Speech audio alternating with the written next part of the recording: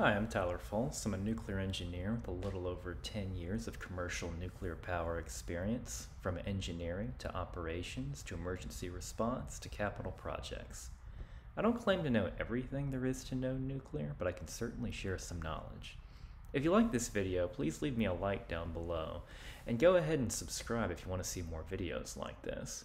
If you didn't like this video, please let me know down in the comments. I'm always looking to improve. Today we're going to be looking at a uh, video from What If called uh, What If You Fell into a Spent Nuclear Fuel Pool. You'll see I have right here a picture of a uh, spent nuclear fuel pool right there. Let's take a look. This is a spent nuclear fuel pool. No, no it's not. what is this? Uh, that um, no, that to me that that is I don't.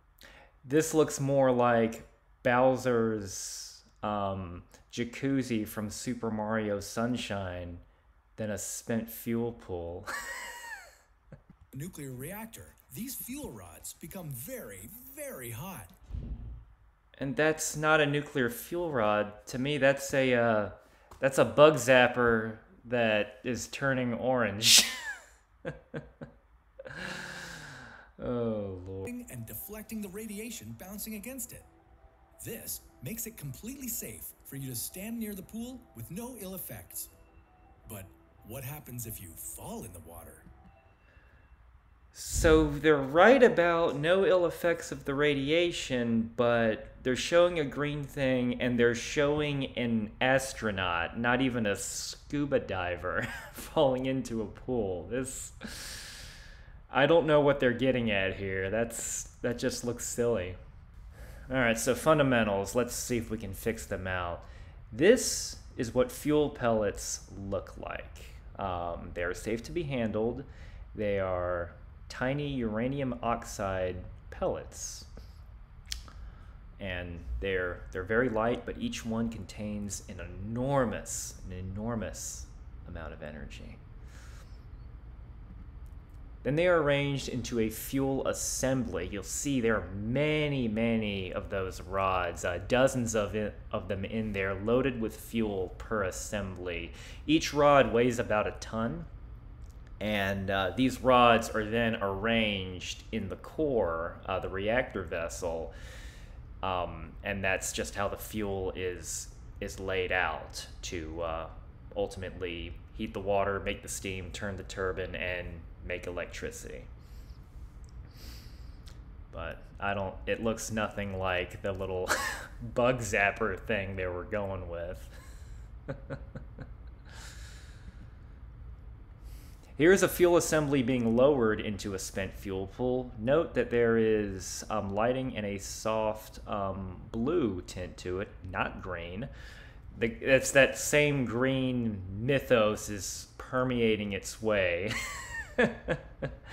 and you'll see it is very, very safe to handle. Um, those are there are fuel movers right there. Um, you don't want it to get it outside of the water as they said, they were right when they said that water acts as a shield and a heat absorber from these fuel assemblies. But their visuals were all off. But this is a very controlled um, evolution and very controlled act of these guys moving fuel assemblies. They need a, uh, a crane operator, his peer checker, and a supervisor for when these individuals move. You got to because you got to be sure it's a safe um, critical lift. Um, you're loading the fuel in the right spot, and um, the person they need to be supervised by a senior reactor operator, someone licensed by the federal government to mu- move um, spent nuclear fuel during a uh, refueling outage.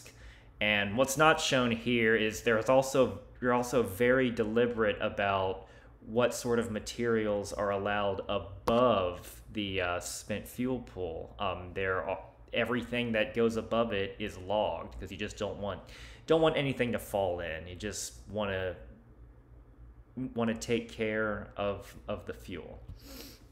Here's a picture of the spent fuel pool again. All those little um, that little grid down in there. That's where all the uh, fuel assemblies are housed when you're not actively moving fuel over at least 23 feet of water um, and that water acts as both a shield from radiation and from the heat. So if you fall into the pool, there is no greater risk than falling into any other similar sized body of water. The, uh, the worst thing that can happen to you realistically is drowning. Now, you you don't you would have to swim underwater back when one of these is pulled out and then bear hug one of these assemblies in order to get a significant amount of dose from them that it would adversely affect your health. But there's enough water above the fuel assemblies to keep obviously the crane operators safe and anyone that would that that would fall in. It'll also protect you if you happen to fall inside one.